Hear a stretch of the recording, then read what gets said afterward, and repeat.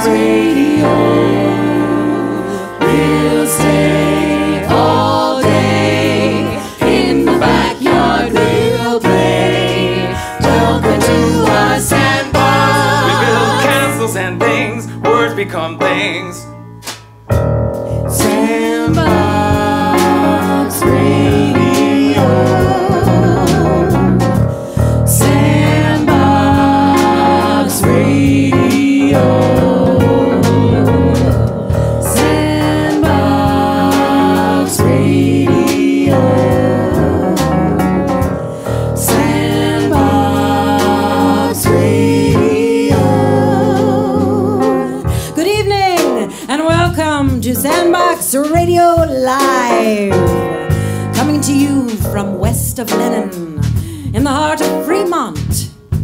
Center of the universe. Tonight, new plays from Ki Gottberg, Paul Mullin, Vincent Delaney, and Elizabeth Heffron. An adaptation of The Black Cat by Edgar Allan Poe. A song from K. Brian Neel. The Sandbox Radio Players. And music from Jose Juicy Gonzales and the Sandbox Radio Orchestra.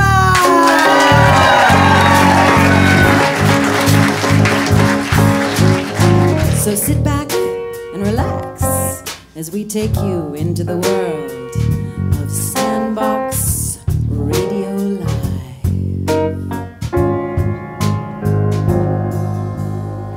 Sandbox Radio.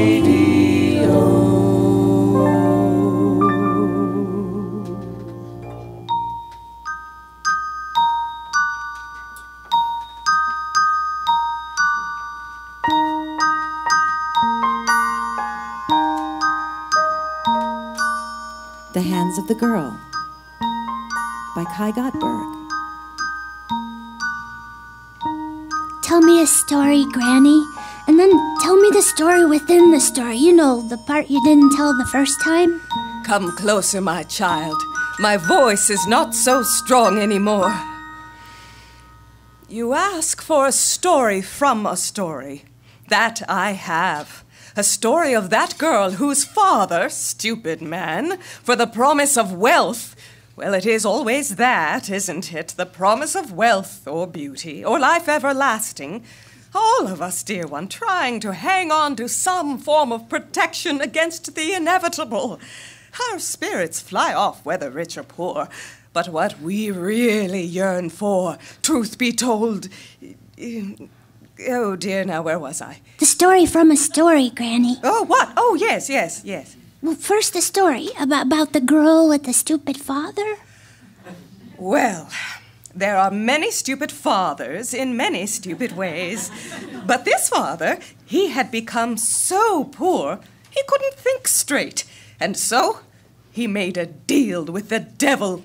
Do devils exist? Oh, yes. And they come in all types of guises. But what this father did was give away his future to a dapper gentleman devil who said, To give you wealth now, I want only later what stands out behind your barn. And this father, thinking it was only that old apple tree, said yes. But he didn't look first, and at that moment, it included his dear daughter back there doing her chores. But that devil didn't just take her. Oh, no. Devils are never direct like that. The torture can't be quick. They like it long and slow. That is the devilish way. That devil said, I'll be back in three years, and to the day he returned. Imagine those three years for that father and his daughter living in riches and knowing all the time something bad is coming. And so he came, that devil. That he did. He appeared all suave and slinking in a bridegroom's get-up, sharp black and white, to claim his bride. Here I am, sweetness, to take you true south to the center of darkness to my bed of fire. But the girl, no dummy, had dusted a blue chalk circle in the sand and sat in the middle, protected by her goodness and the circle charm. Magic circle, pure, unbroken, Keep me whole in your eternity. Girl, give me my due. Tell your father what is true. My father gave away what he didn't know existed, devil. I am his daughter. My body is mine. Oh, daughter, forgive me. Devil, that's attempt number one. You see, the devil only gets three tries when he comes, and if you can trick him. Ah! I'll have my bride. You, father. I'll burn it all down if you give her water. Once she's dirty, eh? I can get in there and get what is mine. And off he vanishes in a puff of sulfur smoke. Oh, daughter, forgive me. I must do as he commands. And that father brought her no water, and the girl cried and cried. I'm back. Show your hands, you dirty girl, you muddy, dirty girl. But her tears had washed her hands pure. Ah! Those pure hands! Chop 'em off! Chop 'em off, I say, or I'll take you, Daddy, away in her place. Oh, daughter, forgive me. I'm afraid. Must I do this evil to you? Father, I am yours and give myself to save you. And she reached out to him beyond the blue chalk circle.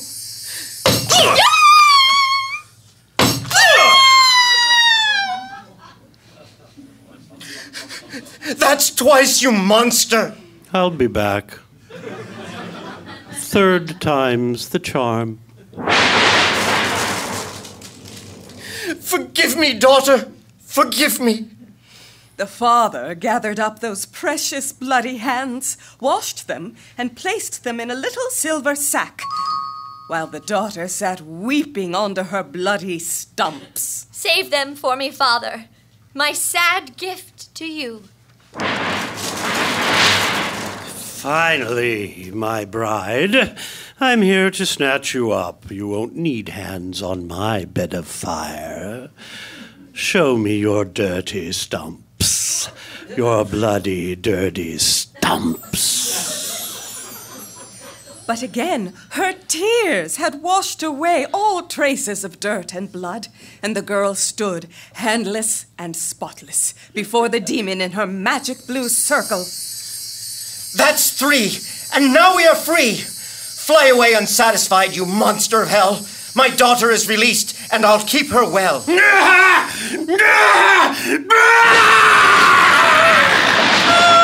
Forgive me, daughter.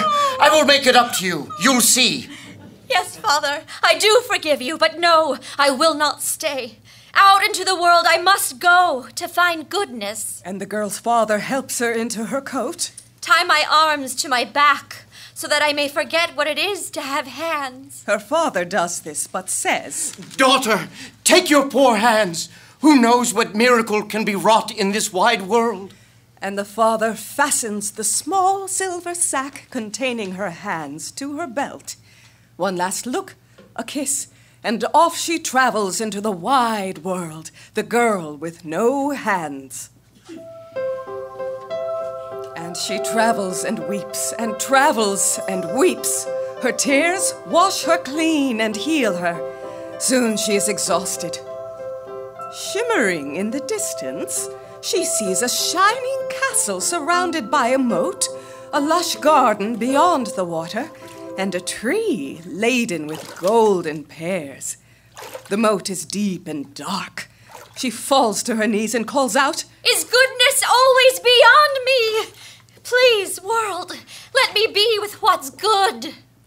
The girl feels a hand on her shoulder. Before she can look to see whose hand it is, she hears singing, and spirit angels appear.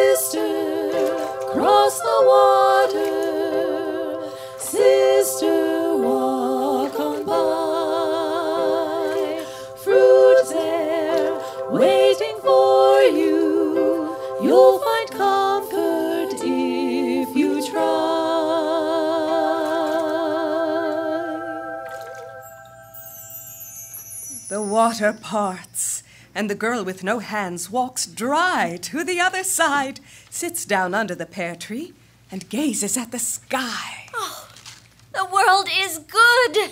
The sky is lovely. And here is a perfect pear for my hunger.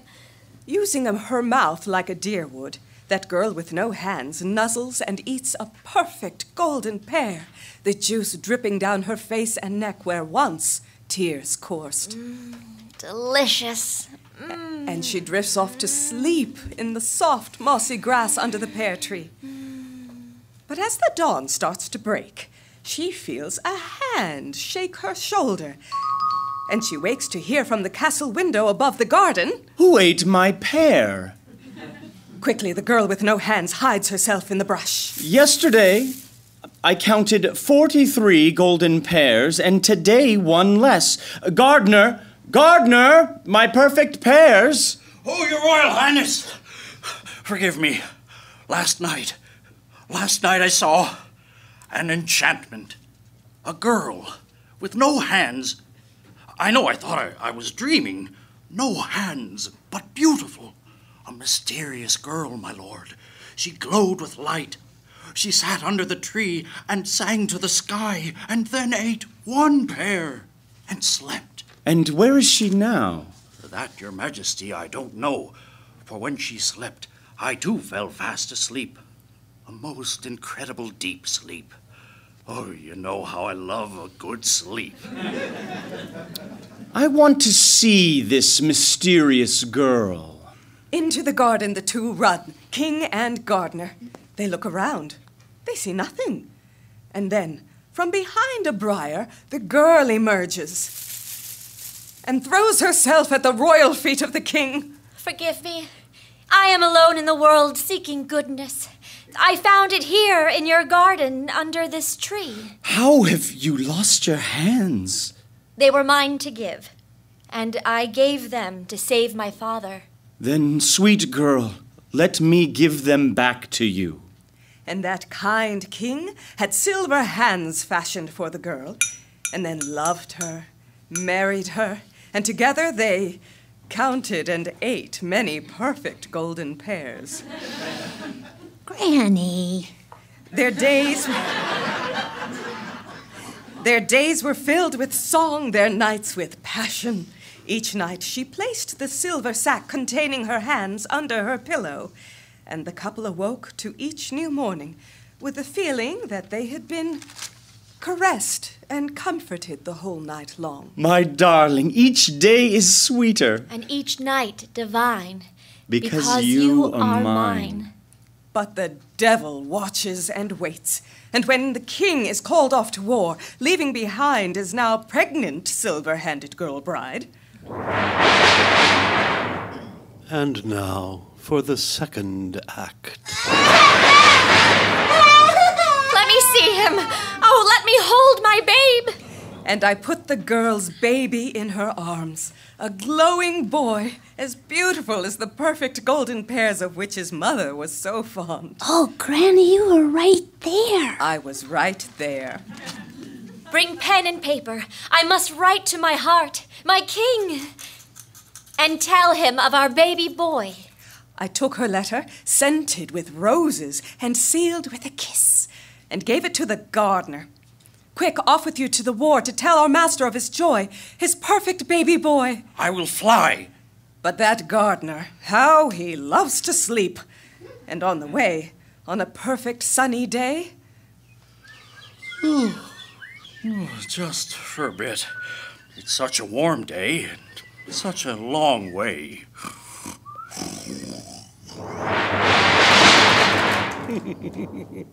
How convenient. I'll switch that letter with this. Ooh, and steal this kiss. Imagine the king, his torment and strife, to learn what strangeness was born from his little wife. Oh, oh, dear me. I've slept the day away. Is that a storm I hear? No, a lovely evening. Goodness, I'm Must have been dreaming. I must fly. My liege, I've brought you news. What? My child a monster? How can this be? Oh, sire, no. I saw the babe myself. A healthy boy. But this letter. The call to battle. Here, take my reply. And off the gardener ran with the king's letter. But that sleepy gardener. Oh, it's been such a long journey. Just a short snooze. Oh. And here I am again. No, I don't always arrive with a thunderclap. Sometimes I slide into view. Another switch, scratch and itch. Now it's done. Beelzebub fun. The monster son will soon be none. A letter from the king. Kill the, child. Kill, the, wife. This, enchantment must end, or I'll lose my life. Save her tongue to prove the deed done. Obey my decree. You serve only me. Has the king gone mad? What can I do? The gardener must kill a deer and bring its tongue. Away with the babe and its queen till this madness is done. Oh, my dear queen, I am so sorry. Perhaps the war has hardened your king's heart. I am leaving richer than I came. My babe and I will find a home. In a world where goodness always ends, there are ever new beginnings. Somewhere there is goodness forever. And off the little queen and her baby journeyed on her impossible quest. My darling babe, I'll need help to feed you. These silver hands are all for show. Oh, for a friend to help me. The world can be good. I know.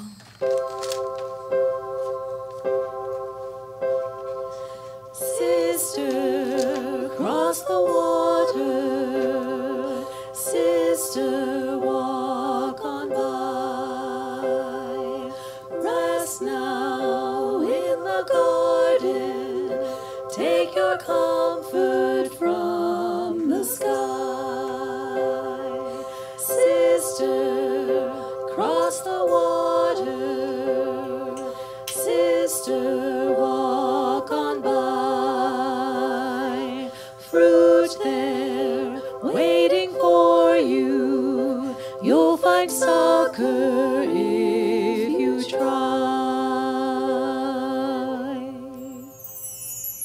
Here is your home. Goodness is with you always. Meanwhile, I sit in the castle with that sad dear tongue and wait for the king's return from his war. I'm home. Where is my wife? Oh, how can you make such a jest after such cruelty? Here is her tongue, that sweet tongue that never spoke ill, the tongue which you demanded in your letter as the proof of her sorry end. Never. Never. How could you think? No, I am good. Oh, how they wail. Always they fail. Is it goodness they seek? Humans are so weak. Oh, master. I did not do as you wrote. I could not do what was unimaginable because I too am good. Your wife lives, though I know not where. Bless all the goodness in the world. I will find them. And that is what he does, wandering, searching, his beard growing long, his tears washing him, for seven years, until one day he comes upon a boy playing under a golden pear tree. Young man? Young man, tell me your name. My mother calls me full of grief. But I am happy all the day. And why does she call you this sad name, child? Mm, Because Mama thinks goodness never lasts. And what do you think? I think goodness is where you find it. And I find it all day long. Then the girl, now a woman, appears and sees her king. She kneels with him and they weep. How they weep, washing all their sorrow away. As her hands caress and pet them both, and their boy plays and sings. Her hands, Granny? Her hands? Yes, my darling. Crawling and sprouting anew. All four of her sweet girl hands.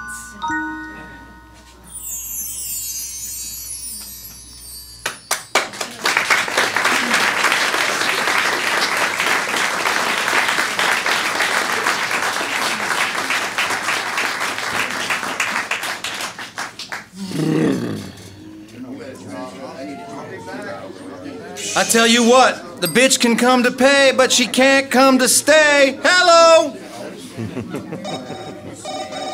hold up, hold up. I gotta take this. It's a client call, yo.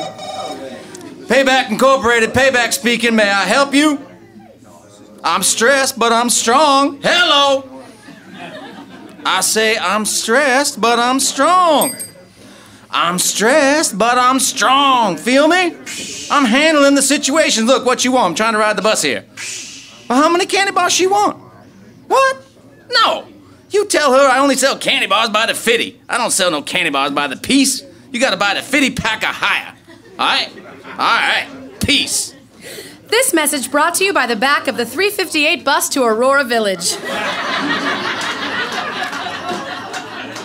the 358, Seattle's first choice in mobile dangertainment. All conversations guaranteed overheard in the back of the 358 names and identities withheld to maintain fabulousness. The back of the 358. We do more business before 3 a.m. than the rest of y'all do all day.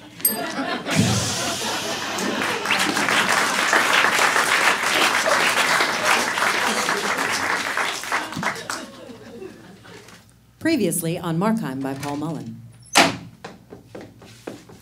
Upstairs wants this case closed. The flip's important, quasi apocalypse shit, and so forth.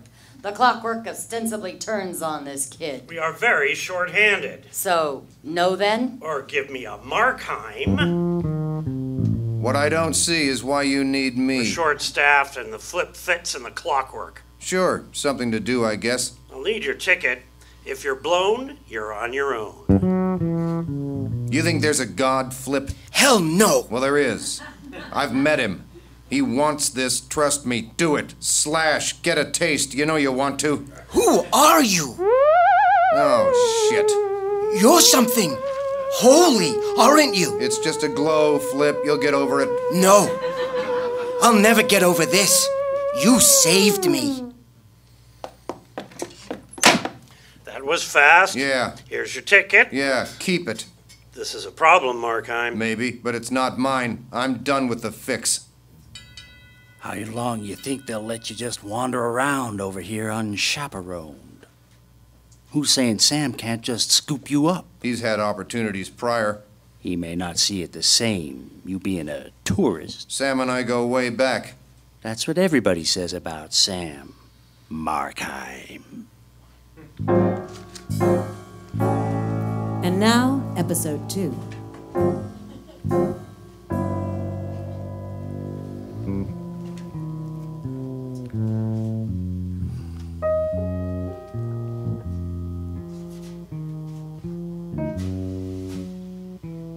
There is a city that doesn't matter. Glistening gray, virtually submerged in the murk. You can hide in this city when you're sick of mattering.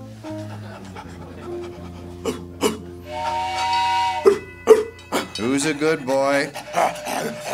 you are, aren't you? Yes, you are. That your dog, then? No. How come you got it on that rope? Watching it for a friend. That little juggalo girl? Don't know what that means. You're new on the streets, then? On these streets, yeah. Thinking of making the harbor steps your turf? Does it matter? Yup.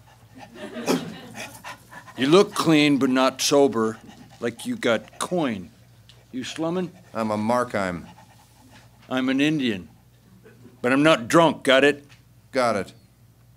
Name's Smiley. I'm sort of an angel, but not a moralist. Got it? An angel? Sort of.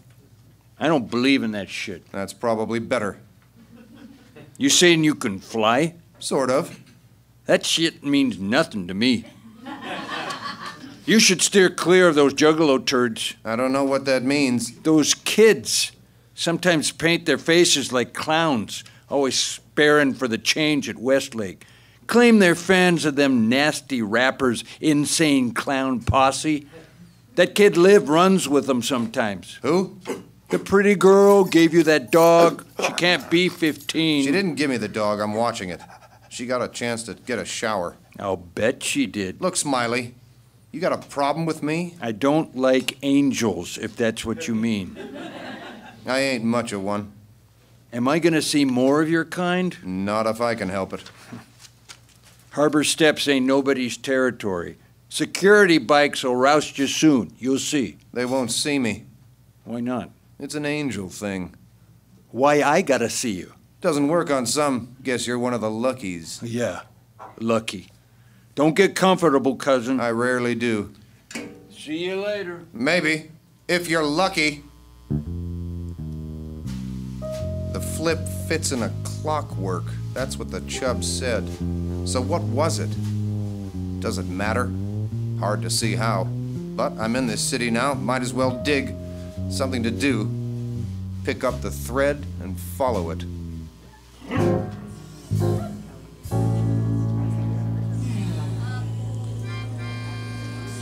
Spare the change. Bus fare to Fremont. Miss, you got a bus transfer? Sorry, Orca card. Oh, I don't know what that means. Hey!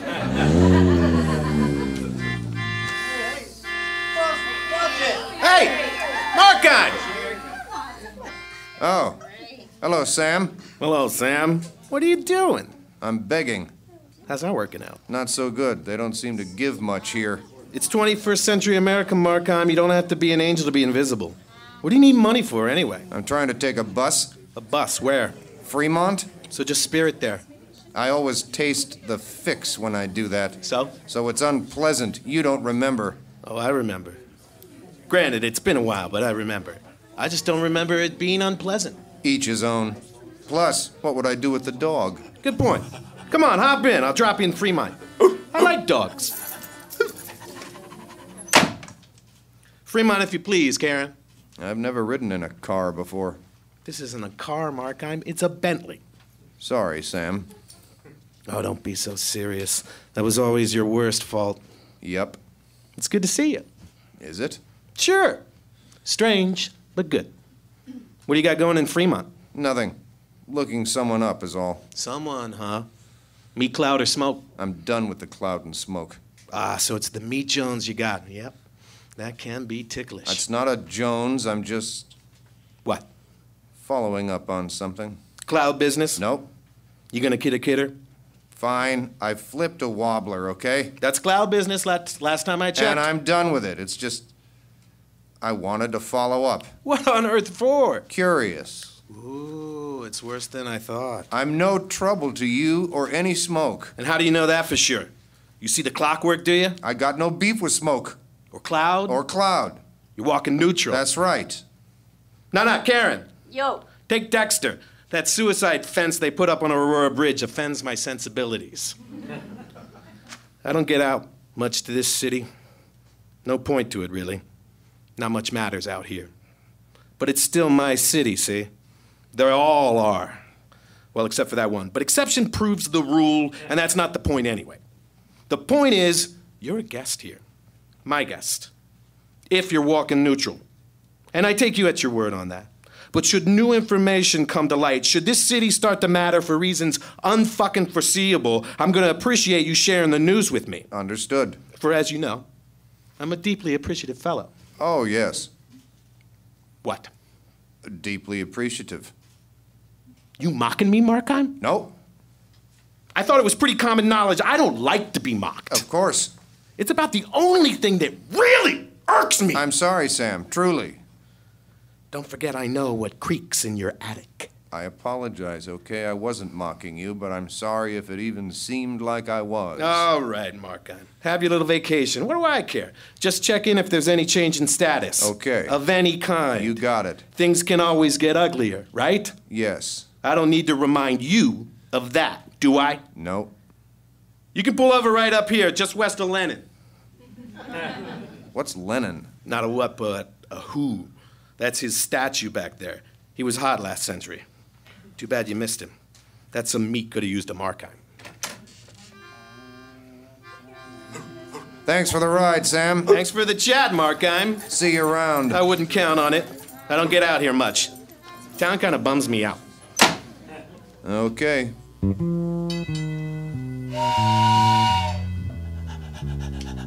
Thanks for watching Black Francis. He was really no bother. I'm glad he likes you. You find what you were looking for in Fremont? Maybe. What's juvie? Juvie? You really don't know what juvie is? I really don't. Is your friend in juvie? He's not my friend, and that's my understanding, yes. I'll get someone to take you there. Can't you take me? Nah. Look, Mark, I have a huge favor to ask. I don't do favors. Can you watch Black Francis for me again? For a few days? Maybe a week? Why? I'm going home. No. Please. A guy I went to grade school with is coming back from Vancouver later tonight. Says he'll give me a ride back to Eugene, but he won't let Black Francis come. Not that my stepdad would let a dog in the house, anyways. You can't go back home. Why? You know why. I have to. No, you don't. You have a choice. Make it. I got a sister back there and a little stepbrother, too. They have to live with that asshole. They can't run away to Seattle. You can't help them. I can. You can't. And it would be nice to brush my teeth a couple of days in a row. First thing he'll do is rape you again. Then he'll rape your little sister for the first time to show you that he can, and that he'll do it over and over if you leave. Then he'll beat you. Then he'll rape you again. You have to stay away. You have to save yourself. You're the only person you can save, and even that's iffy. You cannot go back. You have to survive. Survival is all there is. I have a sister. Not anymore. You have yourself, and you have to protect it. Myself is not an it. I'm a person. Persons are connected to other persons. We have to help each other. Don't go. Look at you. What? You, you glow. You know that? No, I don't. you do. It gives you away. You're like my demented guardian angel or something. I know what you're trying to do. You're trying to show me how selfish I can be, and I have the choice to be that way, but that I can be better. Trust me, that's not what I'm trying to do. I do trust you. You're looking out for me in your own weird way, and you're the only one I trust with my black bean. Besides, this town's getting heavy. A juggalo kid I know got burned two nights ago on those spooky steps that come out at Union and Terry. What do you mean he got burned? I mean, somebody lit him on fire. Dead? Yeah, dead, and I use those steps all the time. Don't go back home. I have to, and you know it. I do not glow. Sure, you don't. I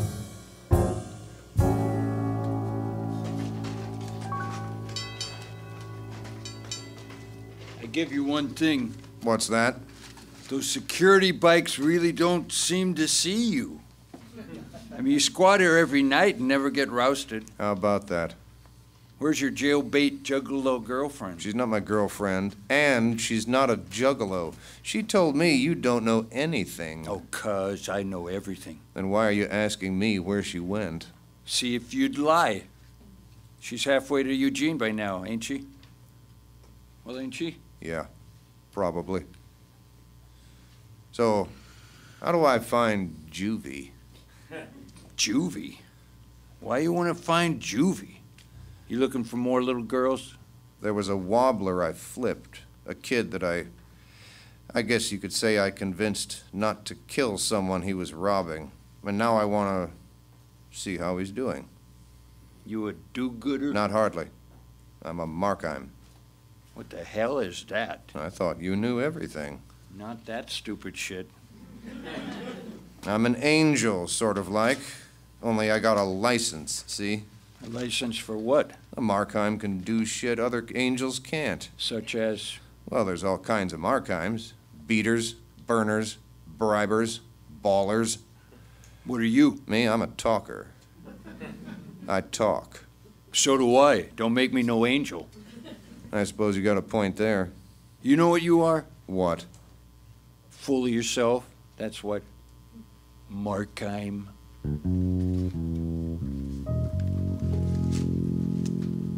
Coming up in the next episode of Markheim. Someone's been burning juggalos, Marky, on stairways outside. Three so far. Unless you count Liv, since she's gone missing and. Oh, look, you got her dog. And oh, look, you hang out on steps. I'm not a burner, I'm a talker. You ain't gonna talk your way out of this. Oh, I think I might.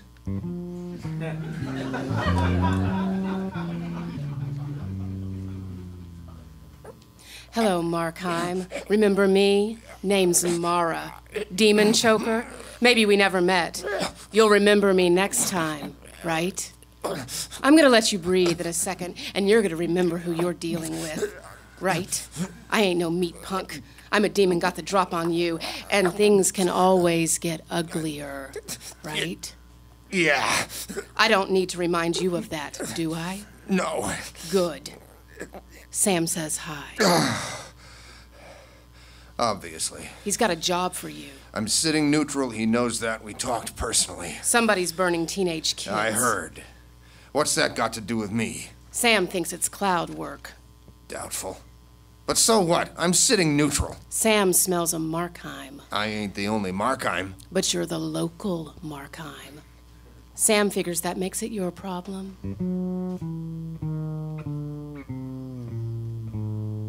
Why are you doing this? I'm a murderer, Markheim. It's what I do. What's your claim to fame? I talk. Oh. Yeah. I don't like talkers. They creep me out. I don't like murderers. So the town's not big enough for two Markheims? That's what you're saying? That's the gist. That's next time on Markheim. Things can always get uglier.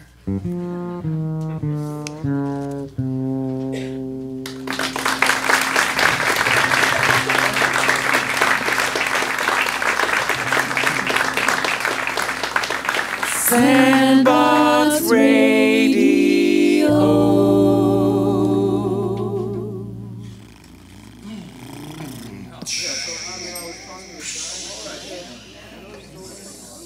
You need any razors, man? I got some really nice razors. Razors? Nah, man. I got plenty of razors. I got razors I ain't even used yet. What kind of razors you got? Look at man, I got the Schick Hydro 5 blade razor plus two replacement cartridges. I also have the 10 packs of replacement cartridges. Price to sell, brother. Dude, you ever try those six blade razors? I don't like the six blade because they're so close together, they don't give the whisker a chance to pop back up, you know? Right, right. I hear ya. How much for the razors? Man, I'll give you one of these Schick Hydro 5s plus two replacement cartridges for $2. That is a good value. Oh, hey, this is my stop. Take care, brother. You take care. This message brought to you by the back of the 358 bus to Aurora Village. The 358, Seattle's first choice in mobile dangertainment. All conversations guaranteed overheard in the back of the 358, names and identities withheld to maintain fabulousness. The back of the 358. You gotta let the whisker pop back up, man.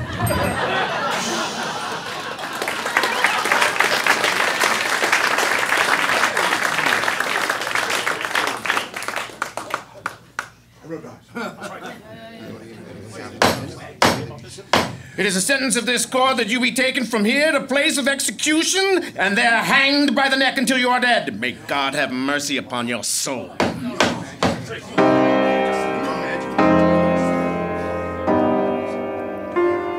For the wild narrative which I am about to relate, I neither expect nor solicit belief.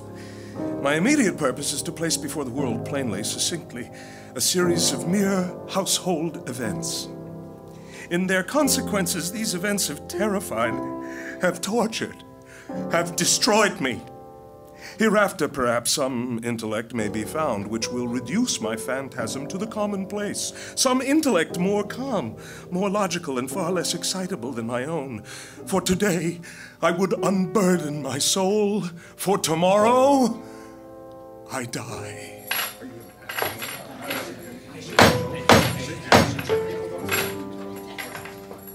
From my infancy, I was noted for the docility and humanity of my disposition. My tenderness of heart was even so conspicuous as to make me the jest of my companions. I was especially fond of animals and was indulged by my parents with a great variety of pets. With these I spent most of my time and never was so happy as when feeding and caressing them. There is something in the unselfish and self sacrificing love of an animal which goes directly to the heart of him who has had frequent occasion to test the paltry friendship and gossamer fidelity of mere man. When I married, I was happy to find in my wife a disposition not uncongenial with my own, and she lost no opportunity of procuring pets of the most agreeable kind. We had. Birds, goldfish, a fine dog, rabbits, a small monkey. And most especially. Surprise, dearest! Isn't he the loveliest creature? Oh. A cat. This latter was a remarkably large and beautiful animal, entirely black and sagacious to an astonishing degree. He's so intelligent, don't you find? I wonder. My wife at heart was not a little tinctured with superstition. I wonder at the ancient popular notion which regards all black cats as witches in disguise. Oh, not that I believe it myself. Pluto This was the cat's name. was my favorite pet, and I alone fed him and. He attended me wherever I went about the house. It was even with difficulty that I could prevent him from following me through the streets. Our friendship lasted in this manner for several years, during which my general temperament and character, through the instrumentality of the fiend intemperance, had, I blush to confess it, experienced a radical alteration for the worse. I grew day by day more moody, more irritable. Edgar. Uh, Dearest, um, what's the matter? Now leave me alone. But darling, I just, I please don't go out tonight. I, I worry so. The, the drink, it, it isn't good for you. God damn you, you in your harpy, you bore me. You disgust me. Get out. No, please. I suffered myself to offer her personal violence. But for Pluto, I still retained sufficient regard to restrain me from maltreating him. But I made no scruple of maltreating the rabbits, the monkey, or even the dog when by accident or through affection they came in my way. But my disease grew upon me. For what disease is like alcohol? And at length, even Pluto, Who was now becoming old and consequently somewhat peevish. even Pluto began to experience the effects of my ill temper. Later that night, returning home, much intoxicated from one of my haunts about town, I fancied that the cat avoided my presence. I seized him when, in his fright at my violence, He inflicted a slight wound upon my hand with his teeth. The fury of a demon instantly possessed me. I knew myself no longer. My original soul seemed at once to take its flight from my body, and a more than fiendish malevolence, gin nurtured, thrilled every fiber of my frame.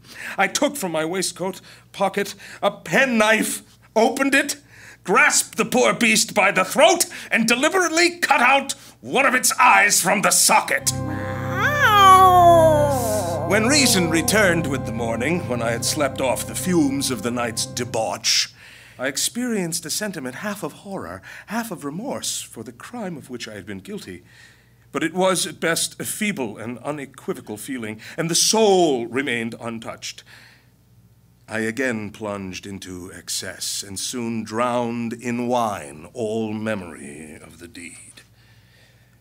The cat slowly recovered. The socket of the lost eye presented a frightful appearance, and though he went about the house as usual, fled in extreme terror at my approach. I had so much of my old heart left as at first to be grieved by this evident dislike on the part of a creature which had once so loved me. But this feeling soon gave place to irritation. And then came, as if to my final and irrevocable overthrow, the spirit of perverseness. Of this, spirit philosophy takes no account. Yet I am sure perverseness is one of the primitive impulses of the human heart. Who has not a hundred times found himself committing a vile or silly action for no other reason than because he knows he should not? It was this unfathomable longing of the soul to vex itself, to offer violence to its own nature, to do wrong for the sake of wrong alone, that urged me to continue and finally to consummate the injury I had inflicted upon the unoffending brute. One morning, in cold blood, I slipped a noose about its neck and hung it to the limb of a tree, hung it with the tears streaming from my eyes and with the bitterest remorse at my heart, hung it because I knew That it had loved me. and because I felt it had given me no reason of offense. Hung it because I knew that in so doing I would so jeopardize my immortal soul as to place it, if such a thing were possible, even beyond the reach of the infinite mercy of God. That very night. Edgar! Hmm? Edgar! Dearest, wake up! What, what is it? What's the matter? There's smoke! Oh, oh, God. The bed curtains! Hurry! Run! Try not to breathe, just run! Oh my god! Where is Pluto? Hurry, hurry, dear, please. Go, go, the stairs are burning. There they are, thank heaven! The whole house was blazing. It was with great difficulty that my wife, a servant, and myself made our escape. The destruction was complete. My entire worldly wealth was swallowed up, and I resigned myself thenceforward to despair. Our house in ruins. What will we do? The walls had fallen in, excepting one, not very thick, which stood about the middle of the house, and against which had rested the head of our bed. The plastering had here, in great measure, resisted the action of the fire. About this wall, a dense crowd were collected, and many persons seemed to be examining a particular portion of it with very minute and eager attention. Look at that. How strange! The marks on the plaster. Yes, that black figure. It looks like. As if graven in bas relief upon the white surface with an accuracy truly marvelous. The figure of a gigantic cat. Heavens! There is a rope about the animal's neck! I beheld this apparition, for I could scarcely regard it as less, and my wonder and my terror were extreme. For months I could not rid myself of the phantasm of the cat, and I went so far as to regret the loss of the animal, looking about me among the vile haunts which I now habitually frequented for another pet of the same species, and of somewhat similar appearance with which to supply its place.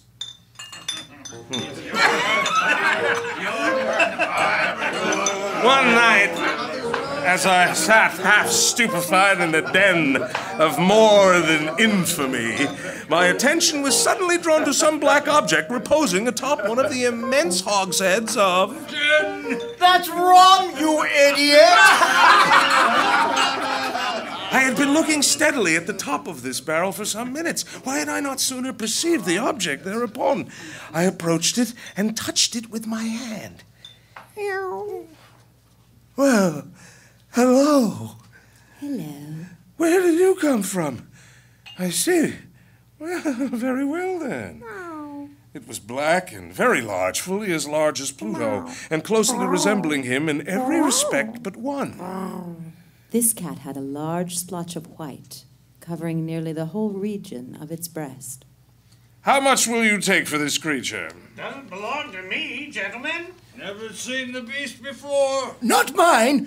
Take it if you've a care to! As the denizens of the bar made no claim to it, and the animal evinced a disposition to accompany me, I permitted it to do so, occasionally stooping and patting it as I proceeded home. Oh, Eddie! How wonderful of you! Thank you! Doesn't he remind you of dear old Pluto? oh. Though the beast became her immediate favorite, for my own part, I soon found a dislike to it arising within me. This was the reverse of what I had anticipated, but I know not how or why it was. Its evident fondness for myself rather disgusted and annoyed. A certain sense of shame in the remembrance of my former deed of cruelty prompted me to avoid the creature, and I came to look upon it with unutterable loathing, and to flee silently from its odious presence, as from the breath of a pestilence. Adding to my hatred of the beast was a discovery that, like Pluto, It also had been deprived of one of its eyes. Poor thing. How sad. My wife still possessed that humanity of feeling which had once been my distinguishing trait, a humanity of which I was now bereft. With my aversion to the creature's partiality for myself seemed to increase. It followed my footsteps, crouched beneath my chair, or covered me with its loathsome caresses. I would I would have it between my feet, and thus it would nearly throw me down, or, or fastening its long, sharp claws in my clothes, clamber in this manner to my breast. I longed to destroy it. I do so love that mark of white upon his breast. Don't you agree, Eddie? Eddie. Dear? What's the matter? Oh, horror!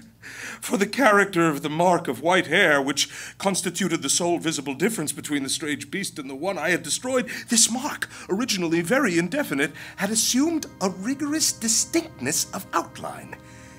It was the representation of a hideous, of a ghastly thing, of the gallows. Now, indeed, I was wretched.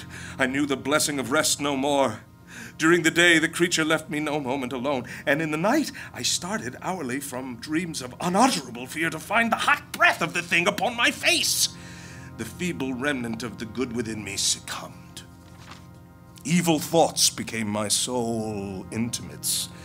The darkest and most evil of thoughts, hatred of all things and of all mankind. I now blindly abandon myself to sudden, frequent, and ungovernable outbursts of fury.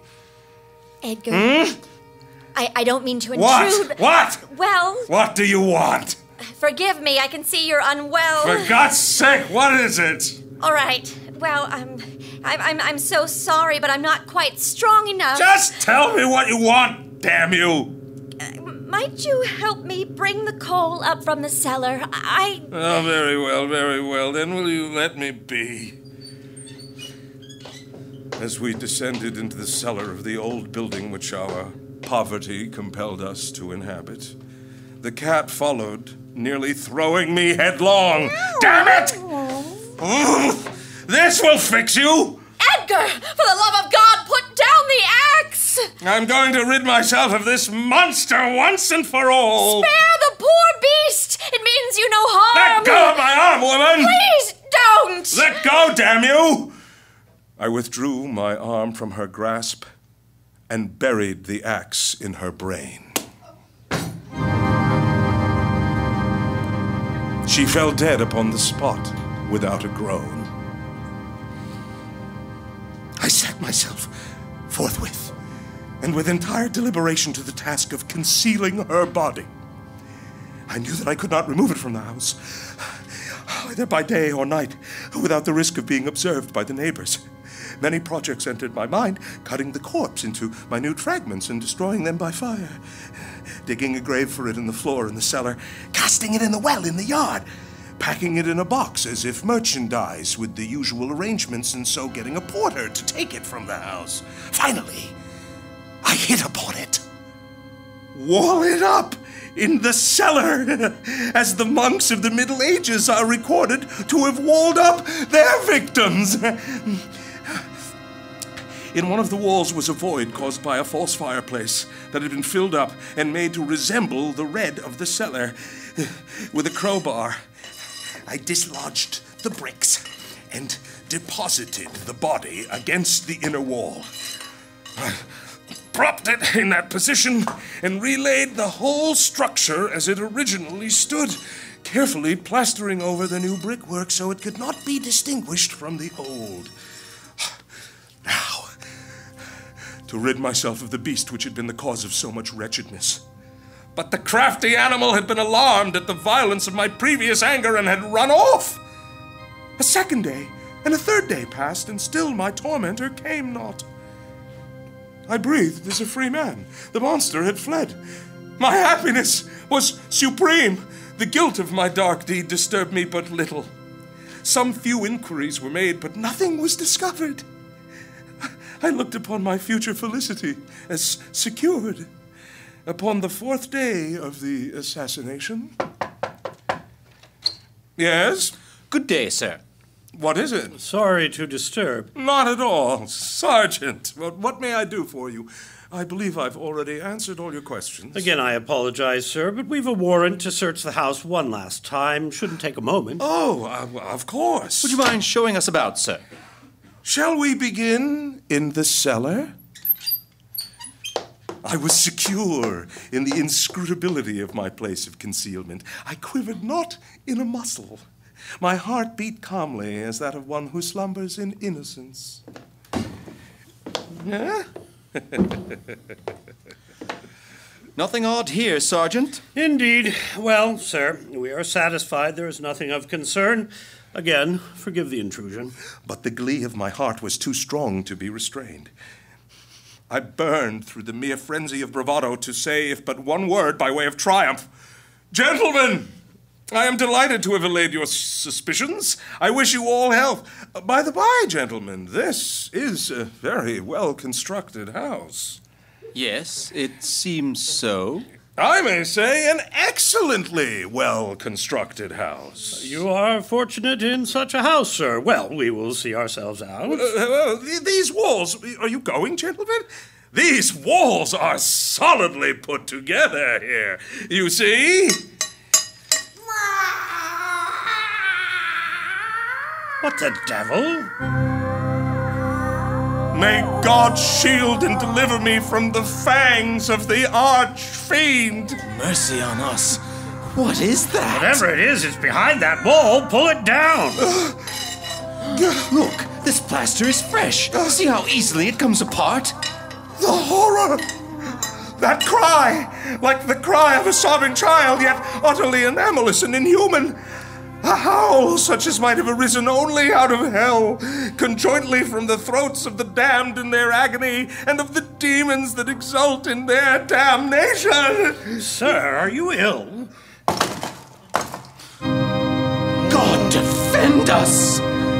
The corpse, already greatly decayed and clotted with gore, stood erect before us. Upon its head, with red extended mouth and solitary eye of fire, sat the hideous beast whose craft had seduced me into murder, and whose informing voice had consigned me to the hangman. I had walled up the monster within the tomb.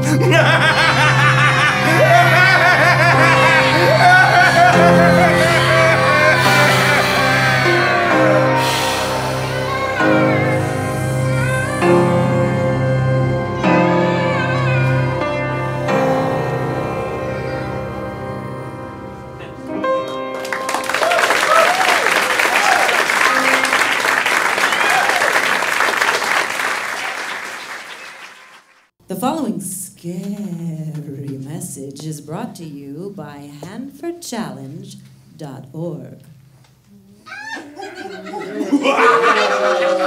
Welcome to All Hallows Eve tour of the Hanford Nuclear Reservation in beautiful Eastern Washington. Hey, stupid young man, wake up! You're missing the tour. What? Huh? Where am I? Tasty imbecile!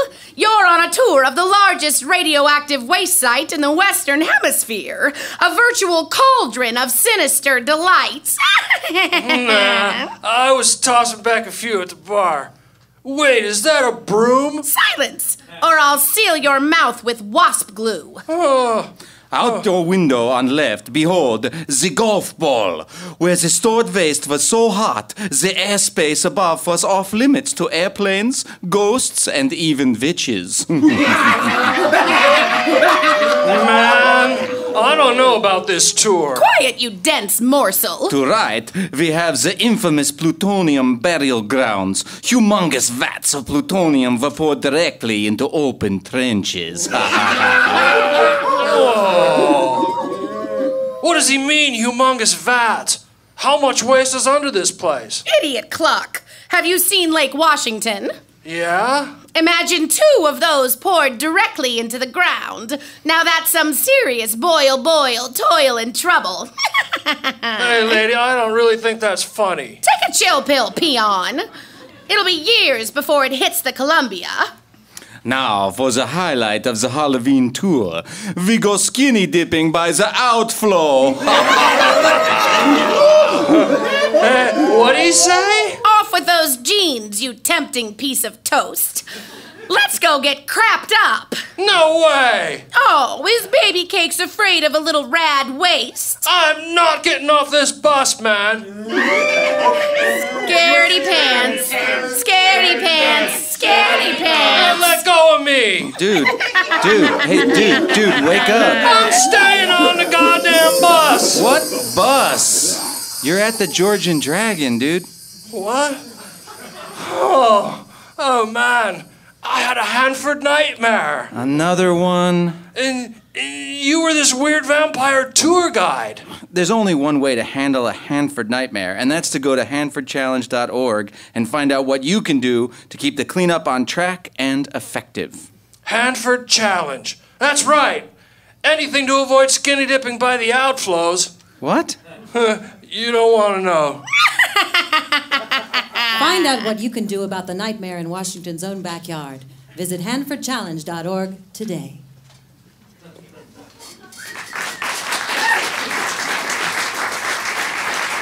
Please welcome to the microphone Mr. K. Brian Neel.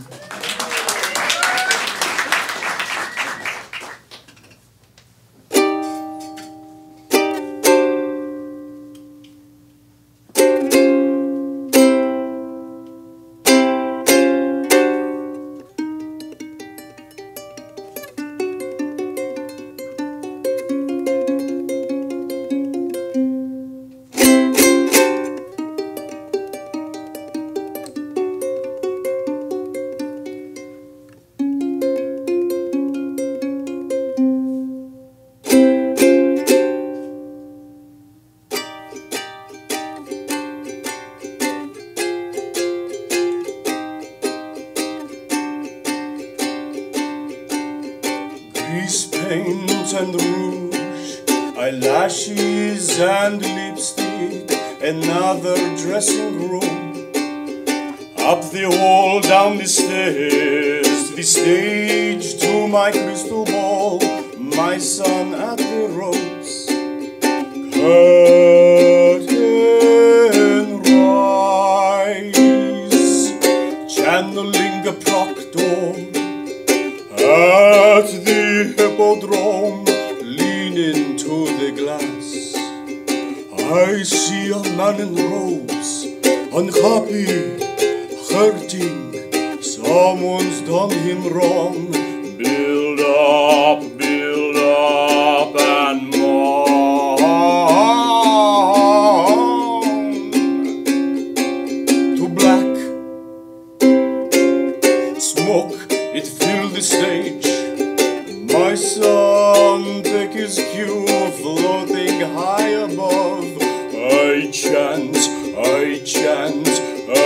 I chant,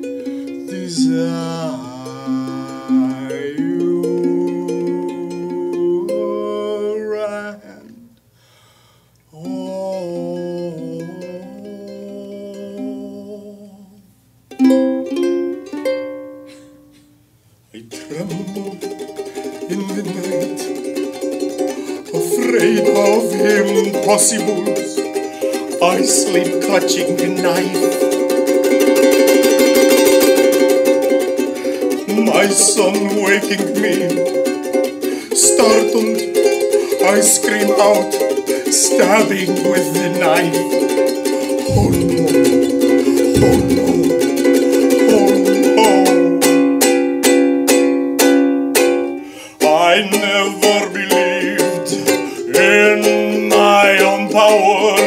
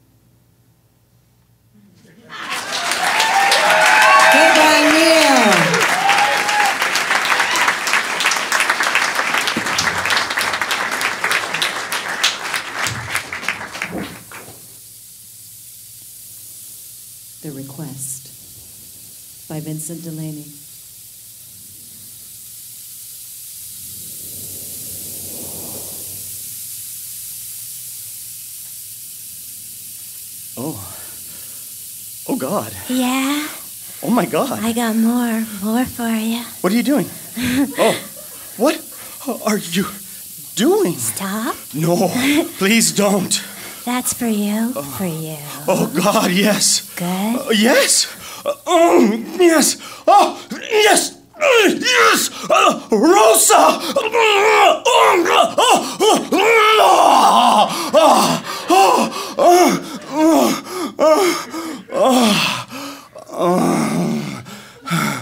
Did you like it?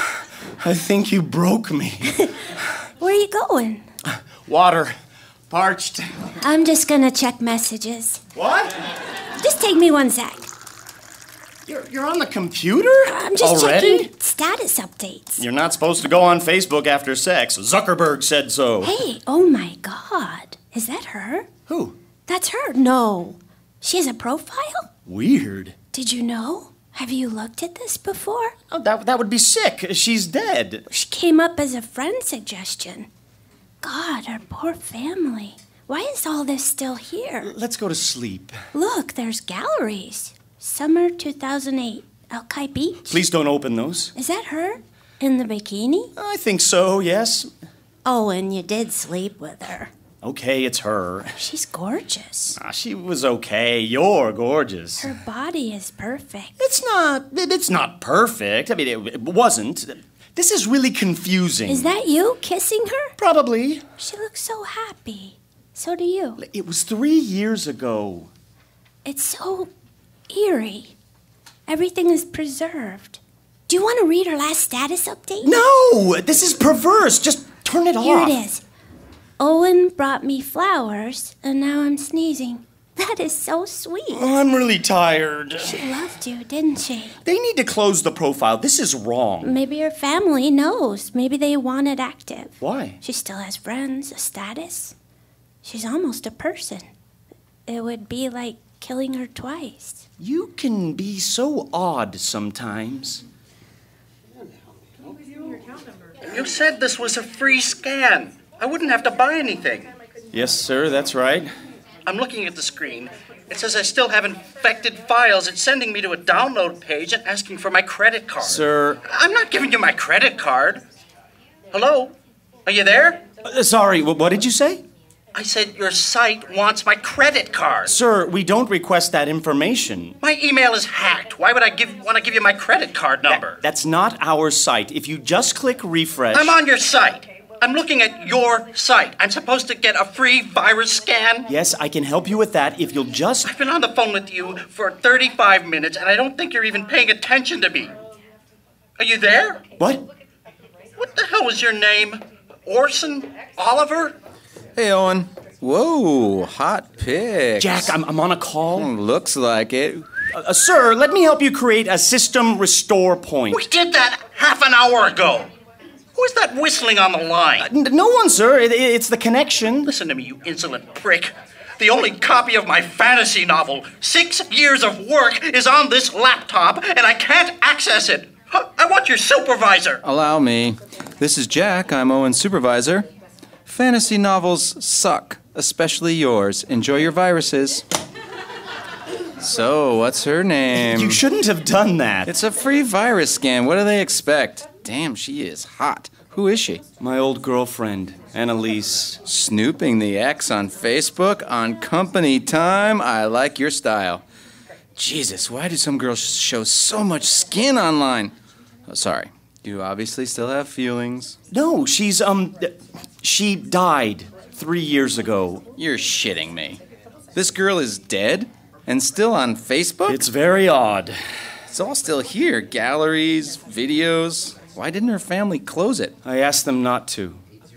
Does Rosa know you did that? Sure, but sort of. Annalise was totally hot. Why'd you ever break up? She was raped and murdered. I suck. I really totally suck. I am suckful. Oh, it's okay. You didn't know. I'm an ass. I didn't know you were still with her when it happened.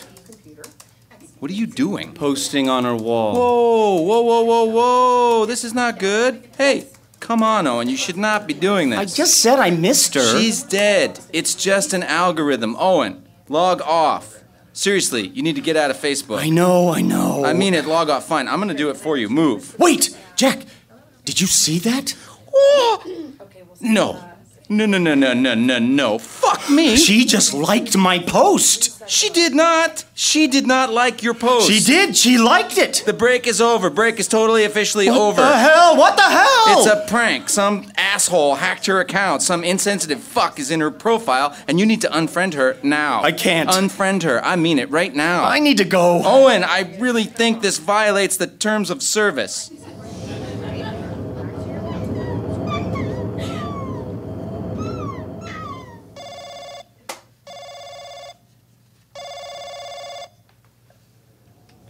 Hi. Hey, it's me. Miss you. Uh, miss you too. They said you left work early. Ah, yeah, I got to be too much. Where are you? I hear birds. Nowhere. I'm at home. Uh, you're not at home, because I'm at home. I'm on the roof. What roof? Downtown, parking garage, where he cut her open. You're where? No one else was here. He held her down. She couldn't scream. He violated her. Then he started to separate her, all her pieces. Come home. Right now. Get off that roof. Get away from there. It Took her so long to die. Bleeding, spreading. Owen, get off the rooftop. Can't. I'm reading her posts. You're what? Th- That's the past. It's over. No, these are new posts. Come home, please, Owen. She just sent me an audio file. That is so nice.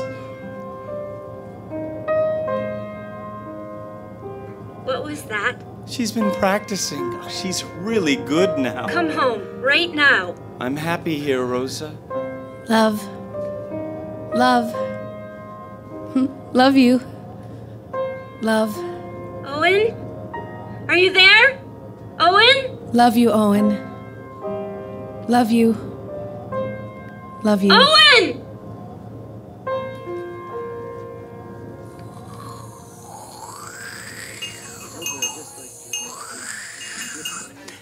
Why you you two have a seat? I'll bring your drinks right over. Thank you.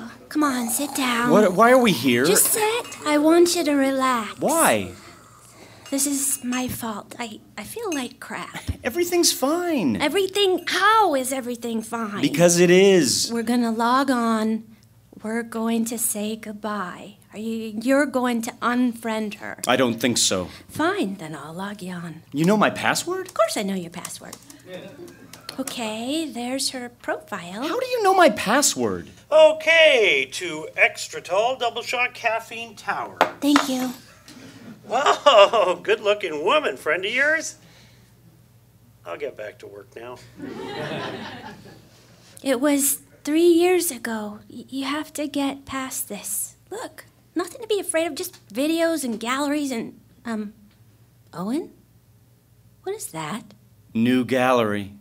There's no new gallery. She said she'd post something new for me. Who is screwing around with this profile? Open it. No, that's someone's sick game. I'm unfriending No, her. you will not. Let go of me. You will not take my girlfriend. You will not take her. Oh, Owen, she's dead. Give that back. I'm opening the gallery. These are my pics. She posted them for me. Stop it. There, it's open. It's. It's. Oh, God. Everything okay over here? Oh, that is disgusting. Oh, God, oh, God, oh, God. Oh, She's torn open. She's cut in pieces. Look at her eyes. Look at her eyes. Crime photo? Why are you looking at this? She was so pretty. She was so pretty. I need to go home. I don't feel Owen, good. give me the laptop right now. She's looking at me. She's not looking at you. I'm emailing that asshole Zuckerberg. I can't believe Facebook would tolerate this. I want this account gone. It won't work. I'm logging you off. I'm taking your laptop until this is over. I still have my iPad. What's wrong with you? She wants me back. She's dead. This is a prank. You're talking about a dead girl. Look at her pretty eyes. It's a picture of the murder scene. She's dismembered. She wants me back, Rosa. You're sick. You're sick, Owen. I'm leaving. Annalise, I love you. Always. Your eyes, your pretty eyes.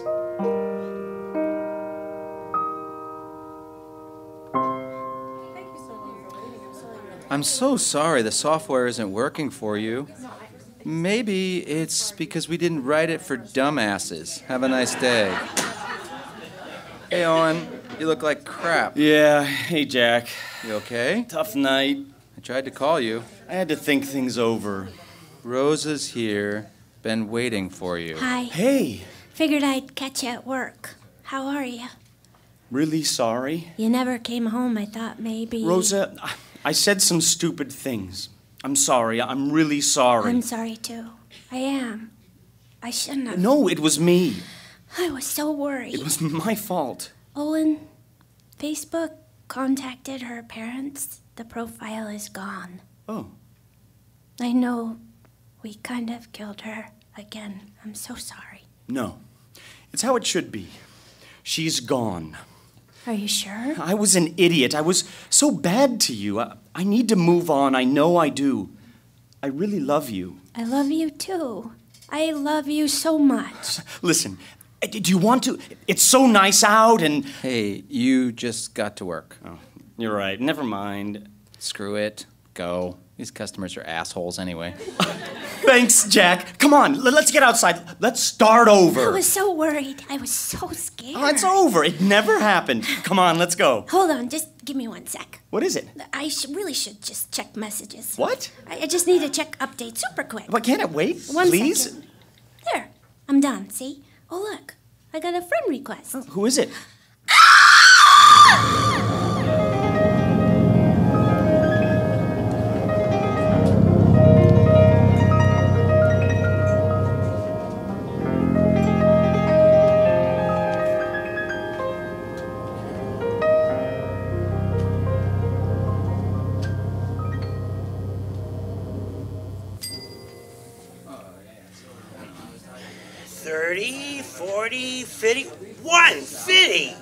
A wad you got. Oh, yeah, good day, very good day. I gotta ask, how much of what you make selling real change do you take in profit? 100%. And what's an average day? Fitty. hey, guitar girl, how you been? Hey, man, how's it going? Damn good day, you. Nah, man, horrible. I worked Westlake, had the same number of people standing around listening to me play, right? But nobody wanted to throw anything in my guitar case, you know? Who you talking? Hell yeah, I know. Might be my worst day ever. Shit. Oh shit, this is 45th Street. I gotta jump. Hey, hey, wait up.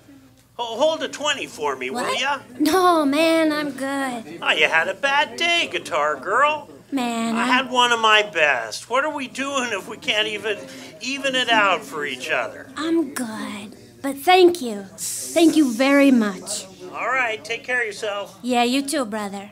This message brought to you by the back of the 358 bus to Aurora Village. The 358, Seattle's first choice in mobile dangertainment. All conversations guaranteed overheard in the back of the 358, names and identities withheld to maintain fabulousness. The back of the 358. The world's back here, brother. You gonna step on? You gonna step off?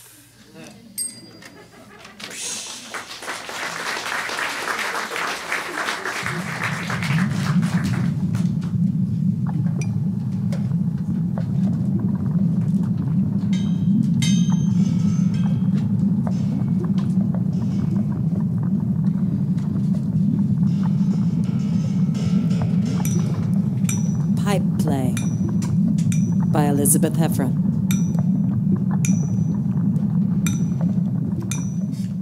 And if it's small and firm but kind of dimpled, it's a different kind of STD.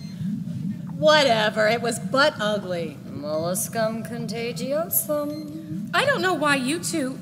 I mean, they're not that bad to look at. What are you talking about? I'm just saying. First one I ever saw, I tossed my cookies. And they don't exactly improve with age. Well, my Kenny's looks the same as the day we got married. You didn't see it until you were married? I had a promise ring, Wilma. You didn't at least peek? Four healthy boys, and the only difference 25 years later is that the way it. Well, never mind. No, The way no, it no, was. tell No, us. well, it's. It, it, Yeah?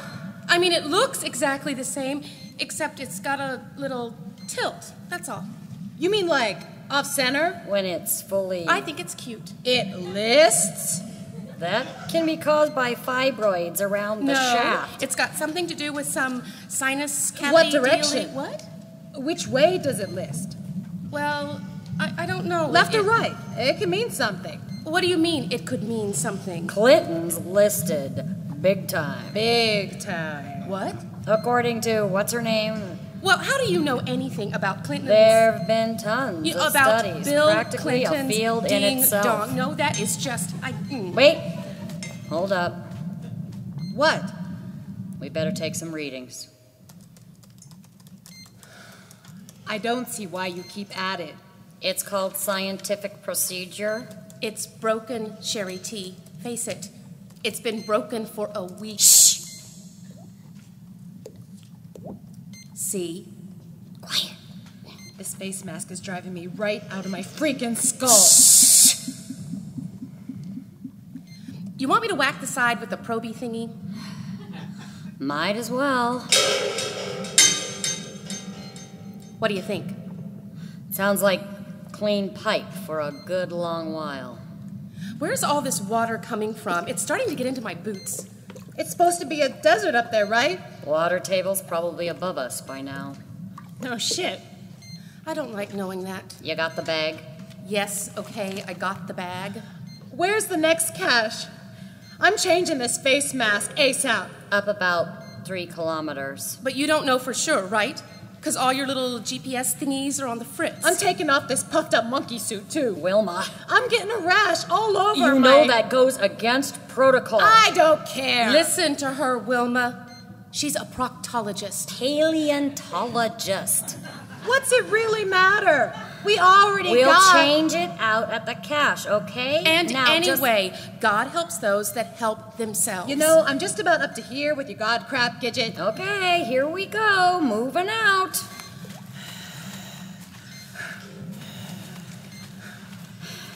So, Wilma. Yeah? What you? I mean, what'd you say to him after he gave you that STD? Who? A 60 year old sex octopus. Oh. Well, I basically said that until he got that thing medically pressure washed, I wasn't going near it. Oh, it. Damn. Lord. Oh. Good for you. Are we back to the penis talk? I'll come right out and say. Are we really back to the penis? I've never enjoyed talk? going eye to eye with one of those novels. You two, they are not that bad. You just got to think of them like snakes. Little single minded pink snakes. The way they set you up, they take your kids, they Or send you mouse with too. no ears. Not the uncut ones. Now, can we just. The uncut ones are worse. Worse than a bald mouse? What uncut ones? You've never seen an uncut one? Of course not. Where would I see that? Most of the world is uncut, Gidget. What are you talking about? I'm a paleontologist. I should know. You've been unemployed. You know, that is about the most disgusting thing that I have ever heard. When my boys were burned, they just, they snipped those bits off just right away. I've never actually said howdy to one either, Sherry T. Are you kidding me? Jesus, what a pair of lightweights. It's like a weird purple eyelid, right? Mostly gray. Gray? God. Oh, maybe grayish pink. Well, that is just, that is totally ridiculous. Whoa. That didn't take long. You got Yes, the bag? yes, I've got the bag. How close are we? Uh, maybe 3.5 meters. Sherry T, I am so dang sick of your science talk. Could you just please speak American? All right, calm down. It's up about 10 feet. 10 feet. You must be right on top of it. I see it. I got it. You got the bag? Right in front of you, Wilma.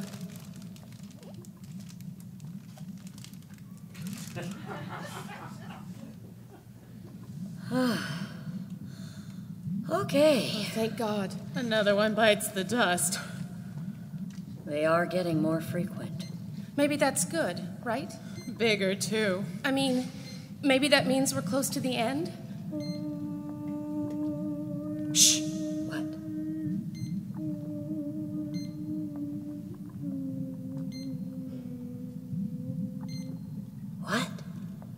Thought I, I heard something. What? Not sure, Oh, but for Christ's sake, Wilma, it's just your nerves. it's not my fucking nerves, bitch. Okay. If we could just ditch these masks, we'd Stop. be able to. Right there. I got chafing on my chin.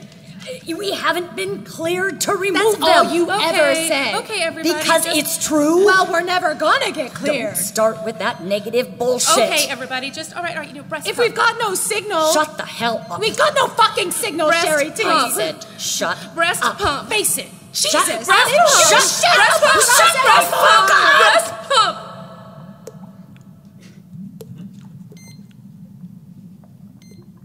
What? I said breast pump, okay?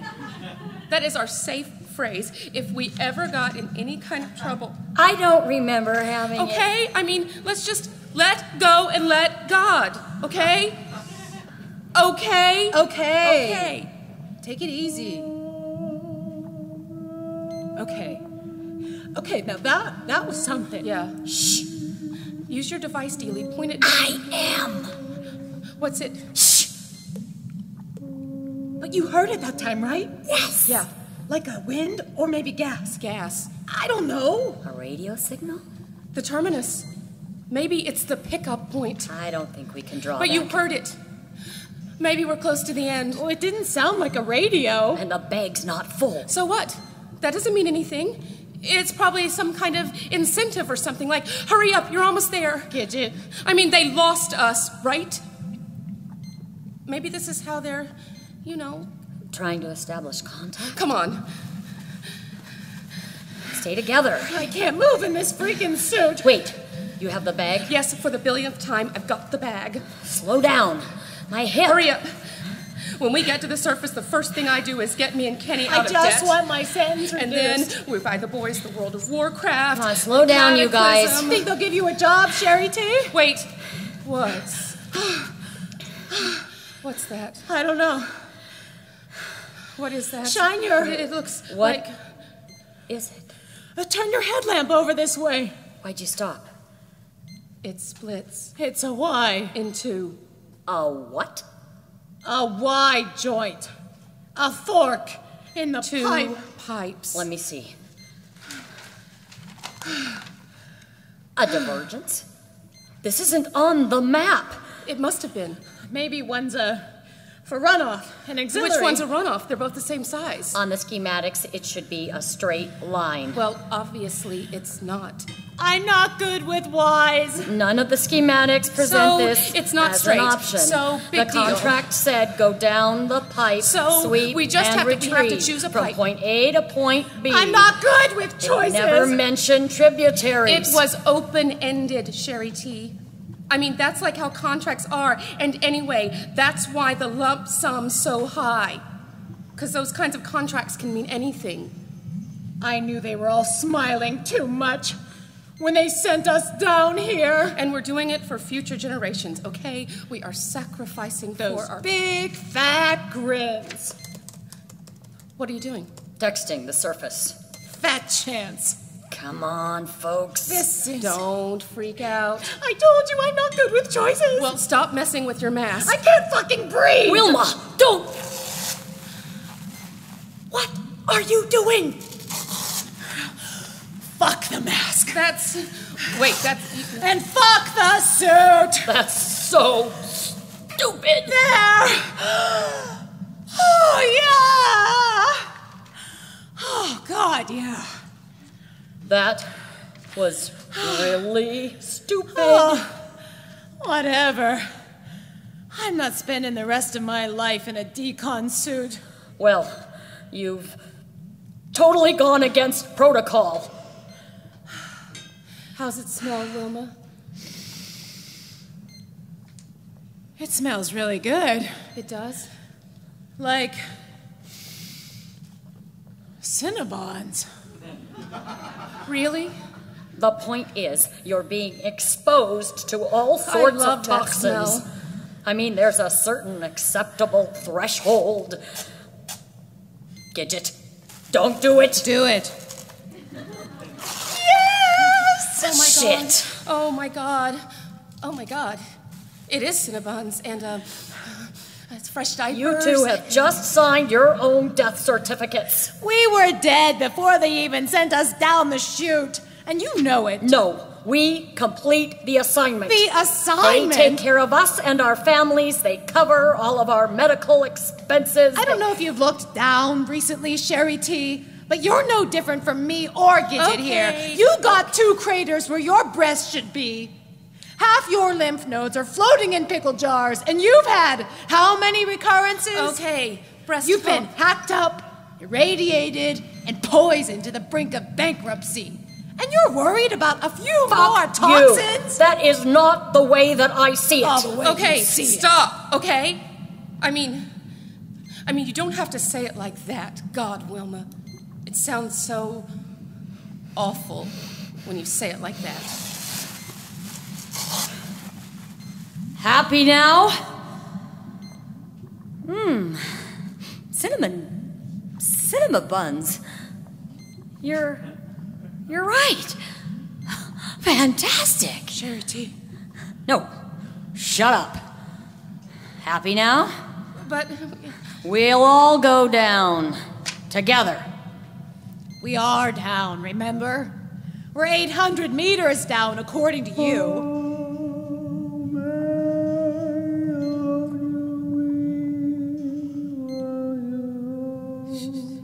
there it is again. Is that? I think it's a person. No. Listen. It's definitely someone singing. Which pipe's it coming from? The left one. Hello out there. Hello. What the fuck are you doing? I'm making contact, okay? I mean, maybe. What if this- it's a trap? What if they're luring us down the left pipe so they can say we took the wrong pipe and didn't follow proper cleanup procedures and then they don't give our families the money? You mean renege on the contract? Exactly. Look, people, we've got to maintain um, a modicum of trust here. Why? Wait. Who's got the bag? I've got the bag, Sherry T. Will you please just hit reset on the bag? Geez, the bag is fine. Where's the bag? Oh. You lost the bag? What? No, I have not lost it. I, I just set it down when we hit the fork. You lost the fucking Here, bag. here it is. Here it is. Oh, thank God. That was close. See, no problem. I'll hold the bag from now on. No. You keep your dirty mitts off. Jesus, Gidget, just give her the bag. No, I won't. She is the scooper. She is the scooper, and you're the leader, and the bag is my job. I am the guy with the bag. So you can both just, you can kiss my ass. The two of you have been bossing me around this entire waste system. I am in charge of the bag. All right, keep the stupid bag. Shh, listen. He stopped. I don't like it when he stops. What do we do now? We have to pick a pipe and keep going. Uh-uh. Wilma? No. I'm staying right here. I'm not deciding. What? I told you I'm not good with choices. Well, you can't stay here. Why not? Because we have to keep and think moving. positive. Positive? I mean, How can you say that when Kenny sold you out? he did not sell me out. Yes, he did. We decided together. He is the one with the earning potential. Face potential. it, Gidget, you're completely expendable. Ow! Sherry T, you slapped me, you bitch! No duh. And it's not about that, okay? I mean, we're doing this for humanity, right? For the sake of the kids. Come on, Gidget. Let's go. What? She doesn't want to come? Fine. No, we are not leaving her. Why not? She'd leave Because you. we are a team. Oh, we're a team. And that is what teams do. They stick together. Suit yourself. I'm moving on. You take one step down that pipe and I dump the bag. You wouldn't. Gidget, don't. I would. I will. We are a team. All right, all right. Just can the up with people. Look, I'm. You guys should go ahead. No, we stay together.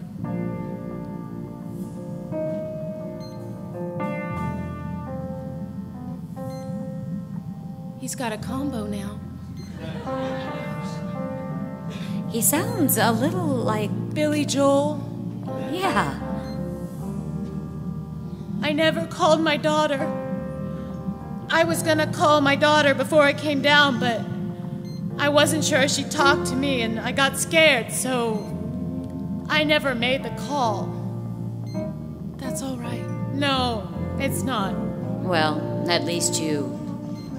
What? I- I mean, you know why I came down?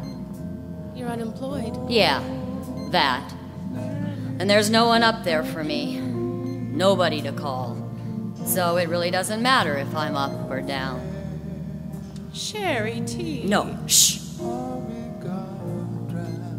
He's got a good voice. I don't trust it. It's just a man's voice, Wilma. Exactly. It could lead us nowhere. Or he could lead us somewhere. Well, either way, it's got to be better than just sitting here. Come on. Wilma. I don't know. Faith is like a wish. That's what my pastor said. I mean, you can think of it like a wish, you know? That you believe in. All right. Just watch That's your step. right. That's a good girl. Just one foot in front of the other.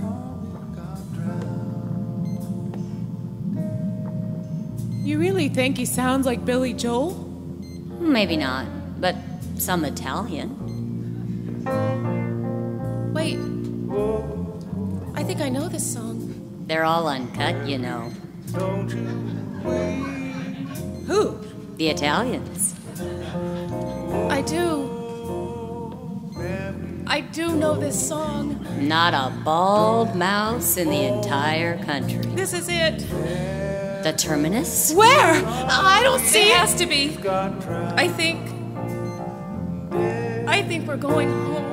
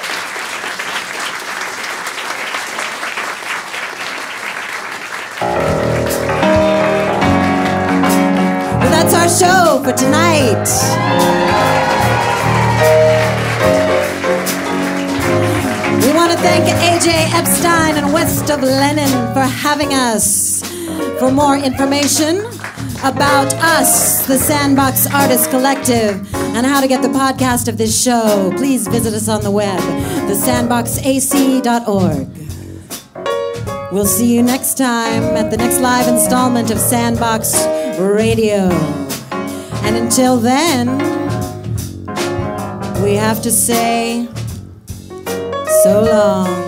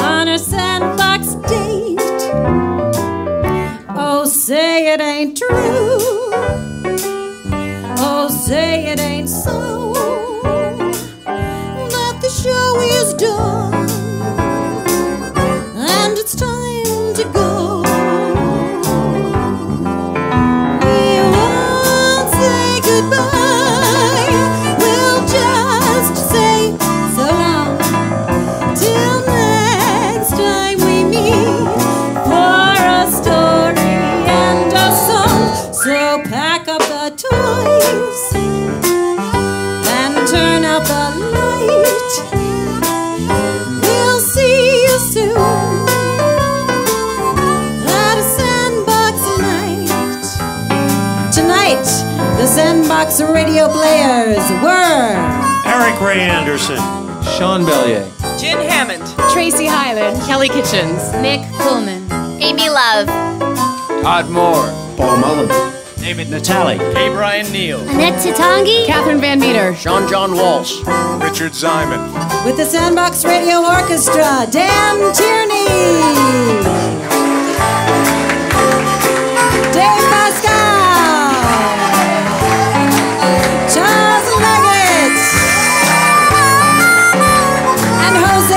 Juicy Gonzales. And I'm Leslie Law. So now is the time when you're going to sing along with us, Catherine and Annette. Will you bring out our lyric cards? Because here we go. Follow along. I think you know the tune.